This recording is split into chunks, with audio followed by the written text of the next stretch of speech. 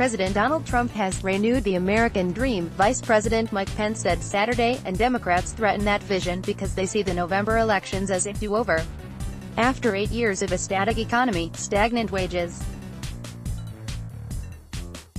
and being told that no growth is the new normal, this president has started a great American comeback, Pence said at the closing dinner of the annual meeting of the faith. After eight years of retreat, America's advancing because President Donald Trump has restored American strength at home and abroad. Saturday's dinner ended the coalition's three-day meeting at the Omni Shoreham Hotel.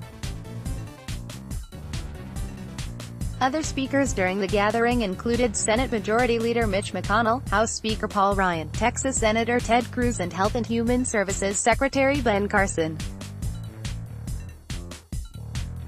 Looking to the November midterms, Pence said Democrats have been focusing on the elections since around 3 a.m. On November 9, 2016, they are hard at it, so we must be, he said.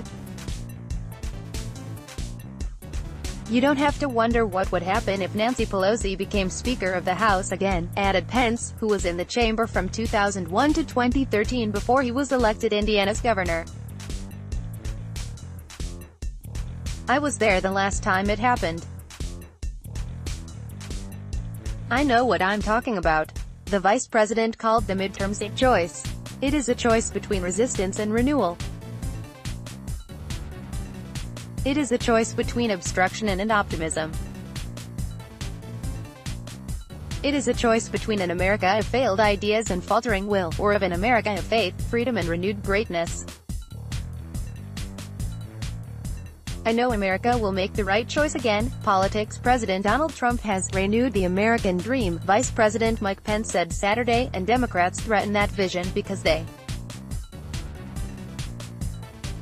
see the November elections as a do-over. Mike Pence, Donald Trump, American Dream, Elections 268 Saturday the 9th of June 2018 9.33 p.m. 201-833-09 Saturday the 9th of June 2018 9.33 p.m. Newsmax Inc.